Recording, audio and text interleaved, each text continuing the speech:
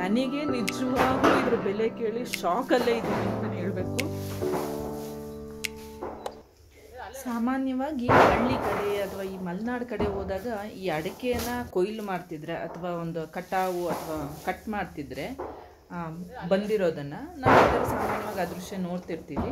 ಏನಂದ್ರೆ ಬಿದಿರಿನಿಂದ ಮಾಡಿರೋ ಅದು ಜವಣಿಗೆ ಅಥವಾ ಗಾಣೆ ಅಂತ ಏನಂತೀವಿ ಮಲೆನಾಡು ಸೈಡು ಅದರಿಂದ ಕಟ್ ಮಾಡ್ತಿರ್ತಾರೆ.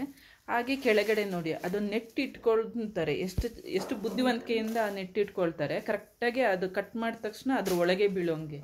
ಏನಂದರೆ ಕೆಳಕ್ಕೆ ನೆಲಕ್ಕೆ ಬಿದ್ದರೆ ಅಡಿಕೆ ಫುಲ್ಲು ಹಾರ್ಬಿಡುತ್ತೆ. ಅಂದರೆ ಒಂದೊಂದೇ ಒಂದೊಂದೇ ಸೆಪ್ರೇಟಾಗಿ ಹಾರ್ಬಿಡುತ್ತೆ ಆ ಬಂಚಿಂದ. ಸೊ ಹಾಗಾಗಿ ಹಾಯೋದು ಕಷ್ಟ ಆಗುತ್ತೆ ಅಂತ ಅವರು ಅಷ್ಟು ಚೆನ್ನಾಗಿ ನೆಟ್ ಇಟ್ಕೊಳ್ತಾರೆ ಕರೆಕ್ಟಾಗಿ. ನೋಡಿ, ನೀವು ನೋಡ್ಬೋದು. ನೋಡಿ ಈ ಥರ ಬಂಚ್ ಆದರೆ ಎತ್ತಿ ಇಟ್ಕೊಂಬಿಡೋದು ಈಸಿ ನೋಡಿ ಈ ಥರ ಇದೇನಾದರೂ ನೆಲಕ್ಕೆ ಬಿದ್ದಿದ್ರೆ ನಿಮಗೆ ಹಾಯಕ್ಕಿದ್ದು ಎಷ್ಟು ಕಷ್ಟ ಆಗ್ತಿತ್ತು ಹೇಳಿ. ಏನಕ್ಕೆ? ಇದಕ್ಕ? ಇದು ಇದು ಎಪ್ಪತ್ತೆಂಟು ಸಾವಿರನಾ? ಎಪ್ಪತ್ತೆಂಟು ಅದು ಎಪ್ಪತ್ತೈದು ಎಪ್ಪತ್ತೈದು ಅಡಿ ಹೋಗುತ್ತೆ ಅಪ್ಪ, ಇದು ಇದು ಎಪ್ಪತ್ತೆಂಟು ಸಾವಿರ ತೋರಿಸ್ತು ನೋಡು. ಒಂದು ತೋರಿಸಪ್ಪಾಗಿಲ್ಲ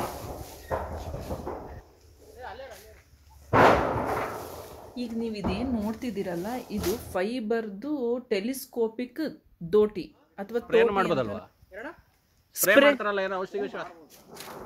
ಇದರಿಂದ ಔಷಧಿನೂ ಸ್ಪ್ರೇ ಮಾಡ್ಬೋದು.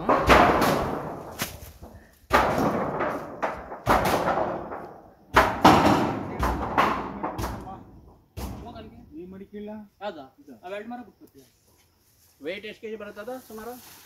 ನಾಲ್ಕು ಕೆ ಜಿ ಬರುತ್ತೆ ನಾನು. ಅದರ ತೂಕ ಅಂದ್ರೆ ವೆಯ್ಟ್ ನಾಲ್ಕು ಕೆ ಜಿ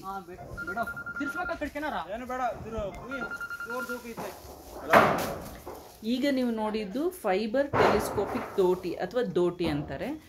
ಅದರ ಬೆಲೆ ಬಂದು ಎಪ್ಪತ್ತೆಂಟು ಸಾವಿರ ತೂಕ ನಾಲ್ಕು ಕೆ ಜಿ ಎಪ್ಪತ್ತೈದು ಅಡಿವರೆಗೂ ಅದು ಉದ್ದ ಮಾಡ್ಕೋಬೋದು ನಾವು ಅದನ್ನು ಎಪ್ಪತ್ತಡಿ ಮರ ಹೋದ್ರೂ ಅದರಿಂದ ಈಸಿಯಾಗಿ ಕೊಯ್ಲು ಕೊಯ್ಬೋದು ಅಂತ ಹೇಳಿದ್ರು. ಏನಂದರೆ ಸಾಮಾನ್ಯವಾಗಿ ಮರ ಎತ್ತರ ಆಗಿಬಿಟ್ರೆ ಒಬ್ಬ ಮನುಷ್ಯ ಅದನ್ನು ಏರಬೇಕಿತ್ತು. ಹತ್ತಿ ಆ, ಮರದ ಕೊಯ್ಲು ಕೊಯ್ದು ಮತ್ತು ಮರನ ಬಾಗಿಸಿ ಇನ್ನೊಂದು ಮರಕ್ಕೆ ಹೋಗಿ ಕೊಯ್ಲು ಕೊಯ್ಬೇಕಿತ್ತು. ಅದು ತುಂಬ ಡೇಂಜರಸ್ಸು ಅಂತ ಹೇಳಿ ಇದು ಬಂದಿರೋದು. ಈಗ ಒಂದೂವರೆ ಇಂದ ಎರಡು ವರ್ಷ ಆಯಿತು ಇದು ಬಂದು ಅಂತ ಹೇಳಿದ್ರು. ಬೆಲೆ ಮಾತ್ರ ಎಪ್ಪತ್ತ ಎಂಟು ಸಾವಿರ. ಔಷಧಿನೂ ಸ್ಪ್ರೇ ಮಾಡ್ಬೋದು ಅಂತ ಹೇಳಿದ್ರು. ಬಟ್ ಏನಂದ್ರೆ ನಮ್ಮನೆಯವ್ರಿಗೆ ಇದ್ರ ಬಗ್ಗೆ ಐಡಿಯಾ ಇತ್ತು, ಗೊತ್ತಿತ್ತು ಬೆಲೆ ಎಲ್ಲ. ಬಟ್ ನನಗೆ ನಿಜವಾಗ್ಲೂ ಇದ್ರ ಬೆಲೆ ಕೇಳಿ ಶಾಕಲ್ಲೇ ಇದ್ದೀನಿ ಅಂತಲೇ ಹೇಳಬೇಕು. ಎಪ್ಪತ್ತ ಎಂಟು ಸಾವಿರ ನಾನು ಅದನ್ನ ಇನ್ನೂ ಜೀರ್ಣಿಸ್ಕೊಳ್ಳೋಕ್ಕೆ ಆಗ್ತಾ ಇಲ್ಲ. ನನಗೆ ಮಾತ್ರ ಈಗ ಅನ್ನಿಸ್ತಾ ಇದೆಯಾ? ಅಥವಾ ನಿಜವಾಗ್ಲೂ ಇದು ತುಂಬ ಯೂಸ್ಫುಲ್ಲ ಇದ್ರ ಬೆಲೆ ಕರೆಕ್ಟಾಗಿದೆಯಾ ಅನ್ನೋದನ್ನ ನೀವು ಕಮೆಂಟ್ ಮಾಡಿ ತಿಳಿಸಿದ್ರೆ ತುಂಬ ಒಳ್ಳೆಯದು